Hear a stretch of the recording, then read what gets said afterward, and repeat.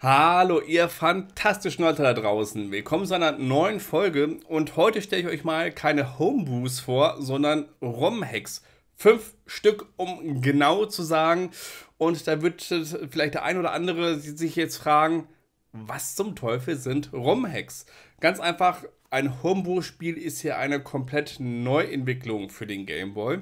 Und ein ROM-Hack, das nimmt sich ein existierendes Game Boy-Spiel und verändert das. Das kann ziemlich große Veränderung sein, sehr große grafische Überarbeitung oder Erweiterung. Oder es werden nur so kleine Sachen irgendwie getweakt, die vorher wirklich genervt haben. Das heißt, im Prinzip könnt ihr euch das so ein bisschen im PC-Bereich mit einer Mod ähm, vergleichen. Ähm, ja, und ich stelle euch fünf Stück vor, die alles so ein bisschen diese ganzen Gebiete abdecken. Die verschiedenen ROM-Hacks habe ich euch natürlich unten im Beschreibungsfeld verlinkt. Und ähm, es ist so ein bisschen kompliziert zu installieren. Und zwar ladet ihr euch dann immer eine sogenannte IPS-Datei runter. Und da braucht ihr noch ein Patcher-Programm, das findet ihr auch auf der Seite, womit ihr denn diesen ROM-Hack erstmal auf die ROM-Datei des Spieles anwenden müsst. Und dann könnt ihr das Ganze spielen. Das muss immer auch eine ganz spezielle ROM-Datei sein, aber bei den ganzen ROM-Hacks, und ich, ich sage jetzt ganze Zeit schon ROM, aber andere, es gibt keinen anderen Begriff, entschuldigt, wenn ich mich jetzt hier äh, etwas von der Tonalität wiederhole. Ähm, und äh, das modifiziert halt diese ROM-Datei und dann könnt ihr das Ganze spielen. Wie das Ganze abläuft und sowas zeige ich euch jetzt nicht im Detail, da gibt es genug Tutorial-Videos zu. Und ich würde sagen, wir fangen gleich mit dem ersten Spiel an. Und ich fange gleich mit den wahrscheinlich zwei bekanntesten ROM-Hacks an. Und zwar erstmal hier Super Mario Land DX, da werdet ihr euch jetzt wundern, äh, DX, was soll das denn bedeuten? Vielleicht sagt euch ja Link's Awakening DX auf den Game Boy Color etwas. Da hat man ja das gute alte Link's Awakening genommen und dann halt ja so, so eine Art ja, HD-Remaster ist vielleicht zu viel gesagt, aber so ein bisschen Erweiterung gemacht. Es kam ein bisschen Inhalt dazu, die Farben natürlich für den Game Boy Color. Also im Prinzip so diese typische Zweitverwertung, was man heutzutage auch inflationär gefühlt hat. Und ähm, da haben sich die Modder gedacht, hey, Super Mario Land, geiles Spiel. Das hat nicht so eine Kur irgendwie abbekommen. Machen wir das mal. Und ich würde sagen, spielen wir auch mal kurz rein. Wie ihr seht, ist das wirklich sehr liebevoll umgesetzt worden. okay. Oh, und ich blamier mich hier gleich äh, äh, zu Start. Ähm, Super Mario Land ist ja so wirklich eines äh, der, der richtig schönen Titel, finde ich. Ich habe das natürlich als Kind gleich zum Start des Game Boys gehabt. Ich habe es damals nie durchgespielt, obwohl es ja nicht wirklich schwer ist, auch wenn ich, wenn gerade meine Spieleperformance gerade etwas anderes hat vermuten lassen. Und wie ihr seht, haben sie das relativ dezent, aber gut ja, aufgehübscht, würde ich sagen. Ähm, hat, verliert natürlich so ein bisschen, ehrlich gesagt, den Charme des Originals, aber das ist normal. Super Mario Land finde ich ja einfach spitze vom Titel her, weil es so etwas, äh, alles etwas anders macht, weil das Mario wurde ja von, von dem technischen Team des Game Boys entwickelt. Ich glaube, ähm, RD1, wenn ich das richtig im Kopf habe, korrigiert mich bitte, falls ich mich irren sollte. Und äh, die haben natürlich eine ganz andere Perspektive als es diese reinen Game Design Studios, sage ich mal. Die wollen da natürlich auch nochmal ein bisschen äh, zeigen, was das System alles kann. Deswegen gibt es da natürlich auch diese Side-Scroller-Levels, ne? was es so in den Mario-Spielen normalerweise nie gab. Ja, und es ist alles drin. Der ganze Inhalt ist normal. Ich gehe jetzt einfach mal unten lang, um mal ein bisschen Zeit zu sparen.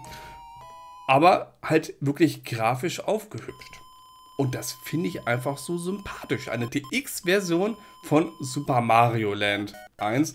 Ich zeige euch noch kurz das zweite Level. Ich, da es fünf Titel sind, will ich das jetzt alles nicht zu sehr in die Länge strecken. Also wie ihr seht, es ist wirklich alles eins zu eins da. Und ähm, das Ganze liegt halt wirklich an einer grafischen Überarbeitung. Und ähm, dann würde ich sagen, gehen wir auch schon zum zweiten Spiel, was wahrscheinlich wirklich der bekannteste ROM-Hack ist. Ähm, Hack ist. Kurz vorweg, ähm, gefühlt die Hälfte der Gameboy-ROM-Hacks, die verfügbar sind, sind Pokémon-ROM-Hacks. Ich werde hier kein einziges Pokémon-ROM-Hack zeigen, weil Pokémon nicht so meine Welt ist.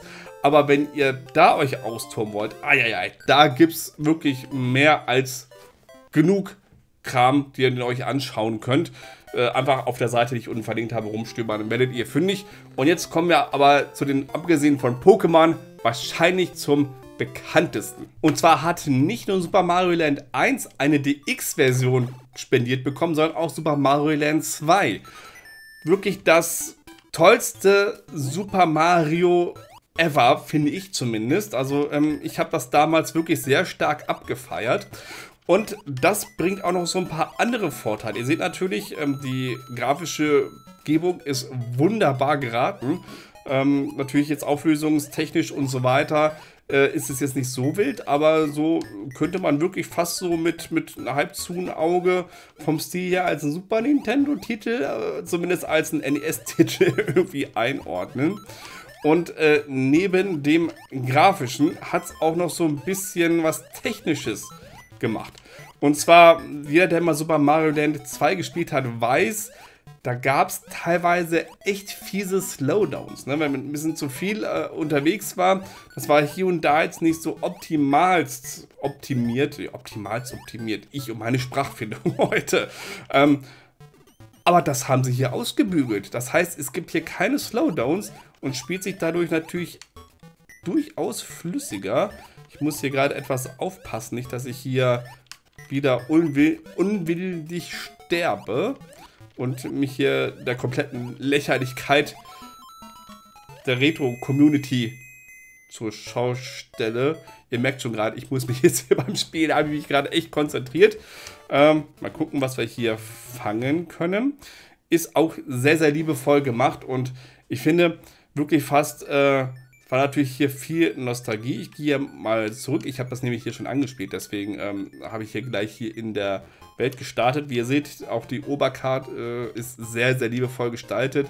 Ich finde das äh, von, grundsätzlich von, von den einzelnen verwendeten Farben, es gibt ja nur sehr, eine sehr eingeschränkte Vielfalt, haben das wirklich klasse gemacht. Ich gehe hier nochmal kurz in die Mini-Welt rein. In die Markus-Zone heißt sie, nicht Mini-Welt, um Gottes Willen. Ähm, sieht alles sehr, sehr stimmig aus. Also das haben sie wirklich richtig, richtig gut gemacht, finde ich. Ne? So. Und wie ihr seht, es läuft halt einfach alles super flüssig. Ich weiß es nicht, ob es gerade hier im Original ein Slowdown war oder nicht. Also wie gesagt, äh, eins meiner liebsten Super Mario Titel ever, wahrscheinlich sogar der liebste Titel, ähm, weil es wirklich gefühlt tausendmal irgendwie durchgespielt habe. Und ähm, ja, ich mache mal Selbstmord und wir gehen zum nächsten Spiel. Und da werdet ihr jetzt vielleicht so ein bisschen fragen, okay, Castlevania, The Adventure, was soll das? Was ist hier verändert? Das sieht jetzt auch nicht gerade farbig aus. Und zwar hat das ein großes Manko. Also das erste Castlevania erschien ja relativ früh äh, für den Game Boy war aber nicht wirklich gut angepasst und hatte sehr, sehr starke Schwächen. Und nämlich, größte Schwäche war, dass sich der Protagonist einfach elendlich langsam bewegt hat. Und genau das wurde hier angegangen und wie ihr seht, die Geschwindigkeit ist jetzt immer noch nicht turbo schnell, aber wesentlich besser. Ich blende hier jetzt gerade mal im Vergleich äh, nochmal die Aufnahme des Originals ein und dann werdet ihr sehen, ihr flitzt jetzt nicht enorm durch die Gegend, aber es ist wirklich schneller. Und dadurch, dadurch ist das ganze Spiel etwas besser spielbar und, und nicht mehr ganz so kacke. Na, also es ist keine Vollkatastrophe, das Original, aber dieses wirklich sehr langsame Bewegen hat dann wirklich sehr, sehr gestört und ähm, ist mir zumindest beim Anspielen auch immer sehr schnell auf den Sack gegangen. Also hier äh, seht ihr jetzt keine großen grafischen und technischen Überarbeitung, nur hat dieses kleine Feature. Und da, dafür sind halt ROM-Hacks auch da. Und das finde ich auch gut so, dass einfach nur so kleine Mankos ausgebügelt werden. Ne? Dass da wirklich Leute gab und hey, okay, super Spiel, aber das ist kacke.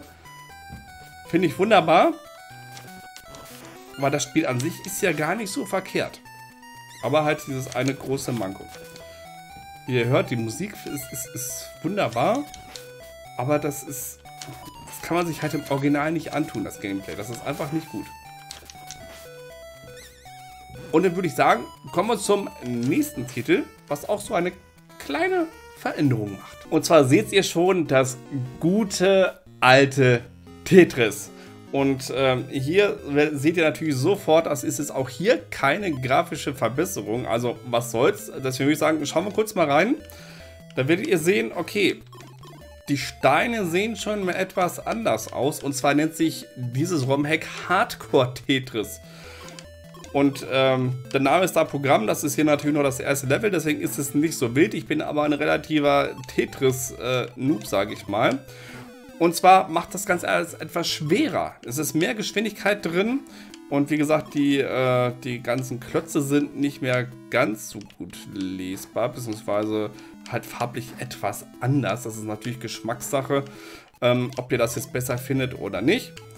Und ähm, ja, macht es ganz etwas schwerer. Das heißt, wenn ihr Tetris-Profis seid und mal etwas mehr Herausforderungen haben möchtet, dann könnt ihr hier auf jeden Fall mal zugreifen. Wie gesagt, das ist natürlich jetzt Level 0, deswegen ist es jetzt nicht ganz so krass. Aber später wird es dann nochmal wirklich, wirklich, wirklich hart. Und ja, bevor ich euch hier mit äh, Tetris Gameplay langweile, würde ich sagen, kommen wir zum letzten Titel. Und das ist, wie ihr seht, auch eine DX-Variante. Und zwar vom guten alten Dr. Mario. Und das profitiert natürlich enorm von der Farblichkeit. Ne? Äh, das Spielprinzip dürfte den meisten bekannt sein. Ihr müsst mit verschiedenfarbigen Pillen verschiedenfarbene Viren erledigen. Und könnt ihr euch das vorstellen, natürlich, wenn es schwarz-weiß ist, ja, ist, ist nicht so toll, ne? weil die Übersichtlichkeit natürlich etwas fehlt. Das ging natürlich im Original einigermaßen. Ideal ist aber natürlich anders. Und deswegen, ne, ich muss gerade mal gucken. Und deswegen ist natürlich die, diese farbliche Erweiterung natürlich wunderbar und erhöht wesentlich die Spielbarkeit. Ich weiß, es gibt natürlich die NES-Version und auf dem Super Nintendo ist das ja auch, meine ich, in einem Port erschienen wenn ich jetzt das nicht komplett falsch im Kopf haben sollte.